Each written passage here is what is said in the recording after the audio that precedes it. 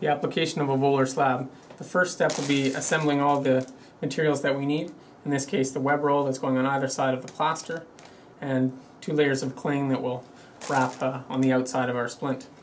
We need to measure the length that would be appropriate, essentially two, two thirds of the forearm, and then to the tips of the fingers.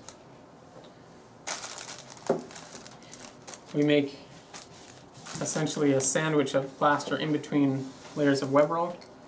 On the patient side of the plaster, I use approximately six layers of web roll.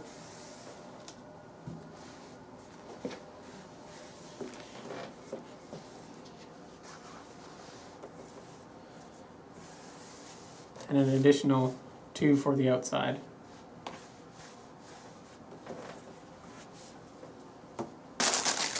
Now measure the plaster to the same length.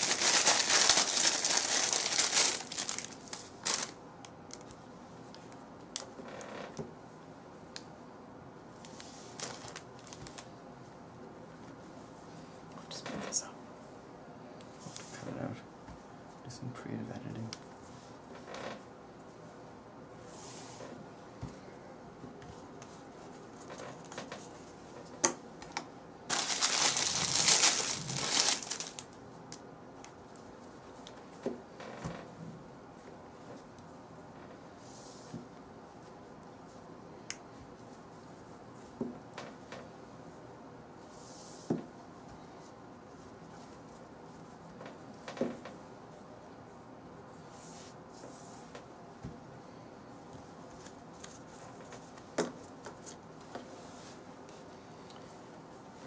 Now have our plaster out to length and our web roll also to length.